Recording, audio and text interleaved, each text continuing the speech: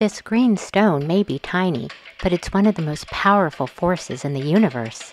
It's responsible for all life and creation of Moana's islands and our whole planet, known as the heart of Te Fiti, our goddess of nature and all living things.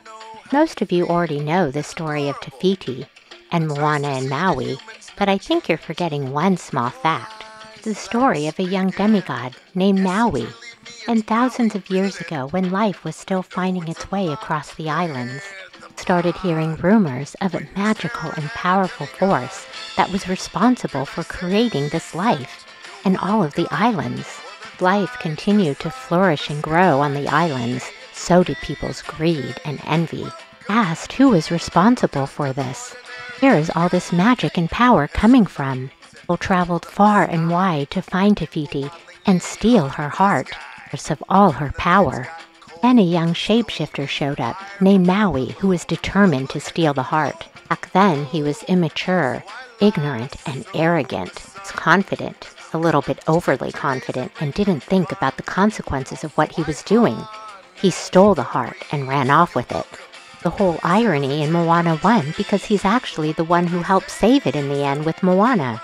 Without her heart, Te Fiti was filled with rage and wrath only was her power gone, but it was like all life was stripped from her, and she became Kā. That day forward, she was no longer the goddess of life and creation, but now the goddess of destruction.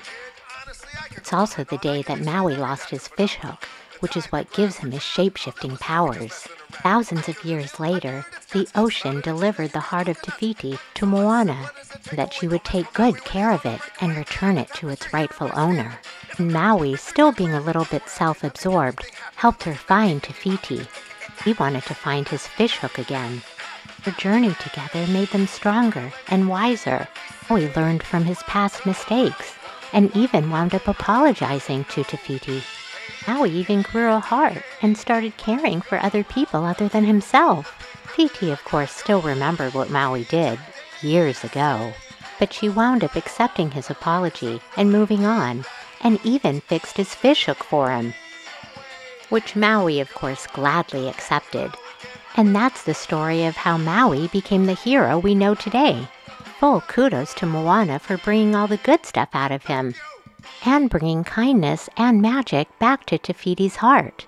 She not only saved Maui from his own darkness, but also saved all of her islands from the darkness and death that was plaguing them recently. Moana's the best and the actual hero of this whole story. I can't wait to see her in Moana 2. It's coming out November 27th. Make sure to check it out too.